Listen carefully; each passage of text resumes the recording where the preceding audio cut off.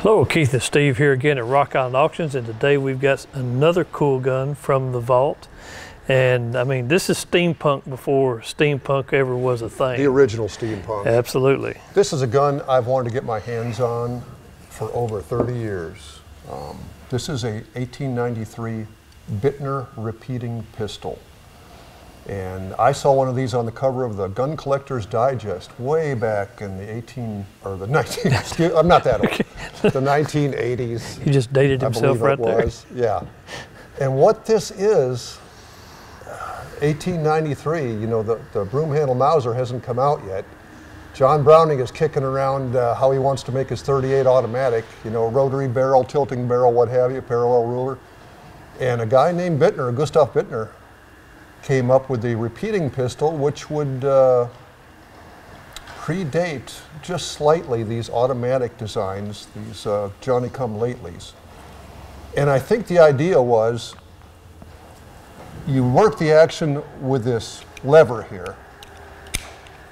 You have a rotary bolt which has one lug on it, which is plenty. It fires a roughly a 31 caliber black powder cartridge that's straight wall.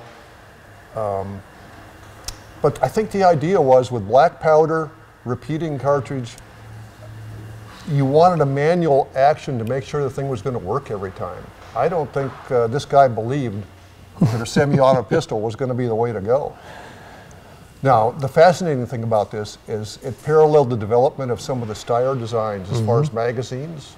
So if you look in here, it's got a follower in there, and what you would do was take a clip of cartridges, an en bloc clip, put it down in there, and the top of the clip had the feed ramp, or the, the feed lips, to guide the cartridges in.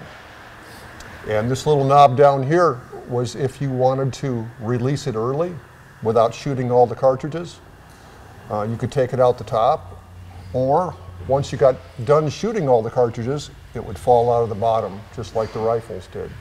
So that was state of the art back then with the 95 Steyrs, for example, and the 88 commission rifle, Yeah. things like that. So you're probably wondering what is so exciting about a uh, five or six shot repeating gun with a 32 caliber, 31 caliber black powder cartridge when you could have gotten a revolver of the same uh, power, if not more. Yeah, absolutely. You know, I don't have a good answer for that. Um, this was paving the way for the automatic pistol, though. The idea of, of loading in a clip of some kind or a magazine, the ideas of um, having a barrel with one chamber instead of multiple chambers in a cylinder. Um, and let's face it, some people just like gadgets too. And to make it more complicated, it's just fun for some of the European designers. And not only is the mechanism worthwhile, let, us show, let's show how it works, just real quick. Um, this closes the action, and if you'll watch, you can see the bolt rotate as it goes in. Now, I've, I've used this handy hook here because that allows you to close the action all the way without activating the trigger. If you want to shoot this as a double action revolver would be shot, you can take it and just leave your finger in the loop and it automatically fires. The other thing is it has a little safety right here. A push button safety just like on your Remington 870. A lot of features. It's got a uh, sight graduated to, if I can read this right, 150 meters, something like that. That's what it looks like. Yes. And that's pretty optimistic. but I think that was looked at as a uh, desirable trait in European guns. A, a Yeah. lot of them came with, with sights like that. But as far as aesthetics go, the woodwork and color casing on this is just beautiful in person. I hope some of it shows up on camera. And this gun is surprisingly comfortable to, to hold. It's steady to hold. Uh, this swell up top really helps a lot. It just anchors it in your hand. It lets it seat down deep. And it's got a lanyard loop, uh, so you don't lose the thing.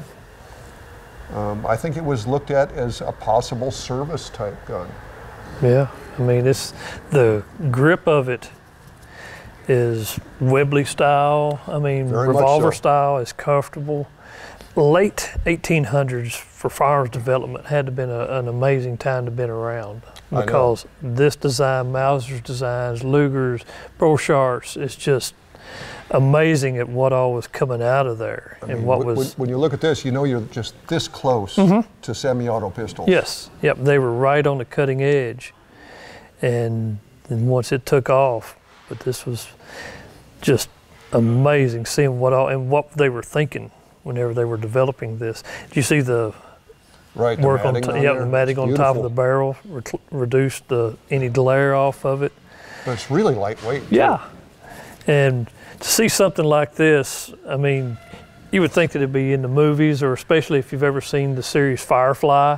Oh yeah. Yeah, Yeah. that was really cool. I mean, this would look like something that was on there. I mean, Yeah. it's it's futuristic and it's old too. So it's just that's that is so cool.